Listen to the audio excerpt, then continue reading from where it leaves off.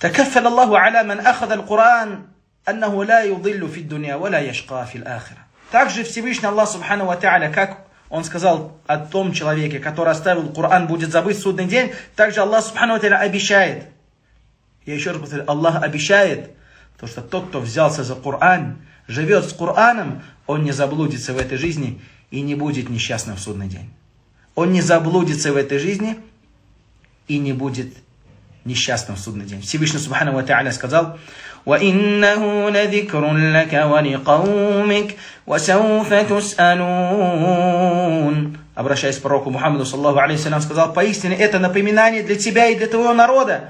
وَسَوْفَ تُسْأَلُونَ И вы будете спрошены. Это к нам обращение. Ко всем верующим. Вы будете спрошены. Я буду спрошен, брат. Ты, брат, будешь спрошен. Ты, сестра, будешь спрошен. За что? Аниль Кур'ан. За Кур'ан. Халь фахимта. Понял ли ты? Поняла ли ты Коран или нет? Халь таляуту? Читал ли ты Коран? Халь таббактуму? То есть вы его на своих деяниях, в жизни вообще, как бы э, следовали Корану или нет? Халь тадаббар кауля? Размышлял ли ты над этим словом, над Кораном, над аятами? Халь хакамтуму?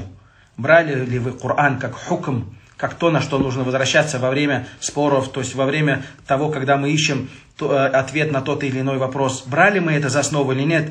Фи аяти, то есть размышляли мы над, над аятами, э, возвращались ли мы аяты Корана или нет? Мы все с вами будем спрошены за это в судный день.